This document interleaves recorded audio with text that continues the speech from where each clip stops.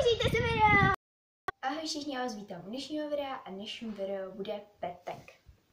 Dnešní petek, která bude s mým křečkem mazlíčkem, mám tady na ní napsané nějaké otázky a vlastně můžeme jít na to.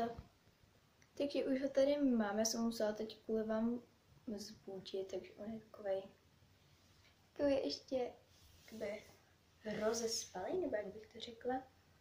A to je teda můj mazlík, takže můžeme jít na první otázku, a to je, kolik mu je. Takže já to nevím úplně přesně, ale jsou mu teda... Uh, myslím, že mu jsou teda... Jo, jsou mu tři měsíce. Takže je to ještě takový napůl miminko, dá se říct. Ježíš, já musím dát pozor, aby mi nespadlo. Tak, můžeme jít na další otáč, otázku. Proč zrovna mazlík? No, tak já ani nevím, proč se jmenuje jakoby mazlík, protože to jméno mu vymyslel můj brácha ale prostě já mu řeknu takovou malou story k tomu jeho jménu. On první můj brácha chtěl hrozně králíka, no a toho mu jakoby rodiče zatrhli. A ten králík se měl jmenovat právě Mazlík. Nevím proč, prostě ho napadlo Mazlík, který se měl jmenovat Mazlík. No a když se teda nemohl jeho králík, nemohl, nemohl se jmenovat teda Mazlík, no tak řekl, že se tak bude jmenovat i jeho další křeček. Jo, takže to je Mazlík je agresivní? Ne, není vůbec agresivní. Třeba jakoby bobísek, um, bobísek třeba jakoby jo, ten občas hryzne, ale tady tenhle ten, on mi hryže náramek, jo. Uh, tady tenhle ten podík, podík, podík, podík, ten nehryže teda vůbec.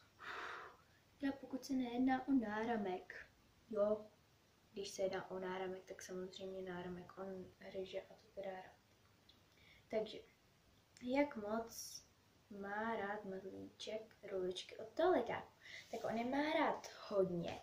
On je třeba fakt jakoby rozkouše hned, ale to třeba bobísek ten se jich ani nedotkne. Tím, ten tím třeba jakoby prolejzá, ale vůbec se jich nedotkne. Takže, jak často mu měníš klec? No tak já mu měním teda po třech týdnech a to z toho důvodu, že on tam má vlastně jakoby peletky, takže to není potřeba tak často měnit. Jinak, když to měla ještě ty prašní plen, tak jsem mu měla um, jednou za dva týdny. Teď mu měním jednou za tři týdny. Jo?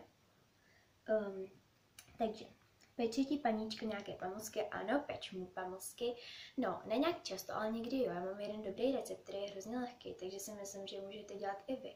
Určitě na ně udělám návod a ten recept je dobrý. Mým křičkům zatím všechny pamlsky jakoby chutnaly, co jsem upekla.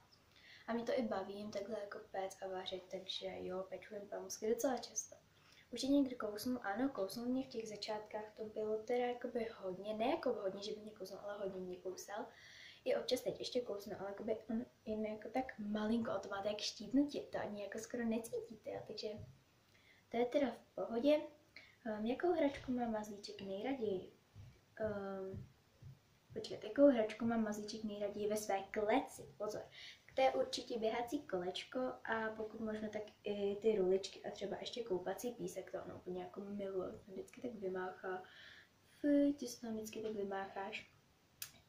Je živější mazlík nebo povísek? No tak um, to se takhle nedá říct, aby říkal, že oba dva jsou tak stejně, protože oni fakt oba dva, jak jsou ještě mladí, tak se budí i třeba jakoby přes den, jsou oba dva prostě jakoby hodně hraví a živí, jo, takže to se takhle nedá říct. Kolik si myslíš, že se dožije let? No tak to nevím, myslím si, že se dožije tak dva až tři roky, jo. Tak dva až tři roky si myslím, že se dožije. Um, další otázka. Má nějaký oblíbený pamlsek? No tak to zatím asi ne. Třeba já mu dávám plně jakoby pamlsek, ale já mu dávám třeba rukolu, tak to úplně miluje, jo. Třeba fakt jakoby rukolu miluje.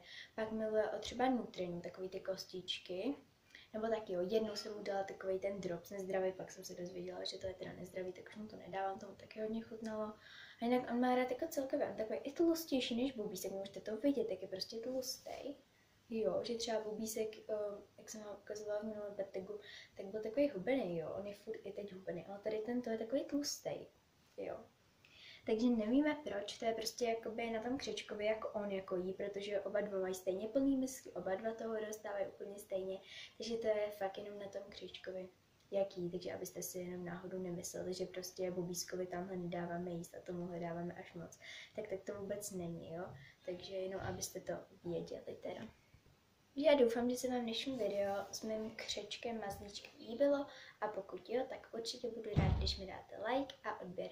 A u dalšího videjka ahoj!